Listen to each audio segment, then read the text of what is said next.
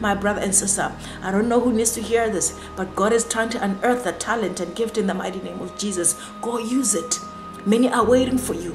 Many are dependent on you. Many, many are praying for, for, for, for, for generational curses to be broken. Many are praying for God to release prosperity, and you are sitting on the prosperity of others in the mighty name of Jesus. You are meant to have generational impact by the power and authority of the one who died on the cross for us, our Savior, Jesus Christ.